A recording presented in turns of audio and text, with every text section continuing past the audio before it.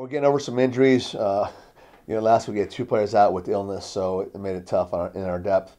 Uh, but our, our thing is we're, we're, playing well. We're playing very well. We had a very tough preseason schedule, so that was kind of prepare us for conference. But now we're kind of rolling. Uh, we just need to be able to score some more chances. I thought we let one game get away on Sunday that we could have won. Uh, as tough as Friday was, we played extremely well. We lost the overtime games. South, uh, sorry, Stephen F. Austin. So hopefully we can get you know one or two wins this weekend. It's going to be two very good teams come out of Louisiana. So if we can get one, uh, that'd be great, especially here at home. Yeah, no, I, I, don't think so. I mean, I think it's still early in conference. Um, any any win we can get is going to be uh, better. Obviously, we can put some teams behind us in the standings, but uh, it's not it's not make or break now. Kimi Albinho is playing very well. We have a couple. Uh, Maria Lund from from Norway is a big time standout right now for uh, for us in the back.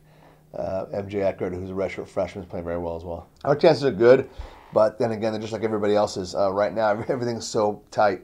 Seems like uh, you know the only team hasn't lost Stephen F. Austin, and I know Houston Baptist hasn't lost, but uh, they have a couple ties in there. So uh, everybody's just compact right right in the middle. So we our chances are just as good as anybody else's.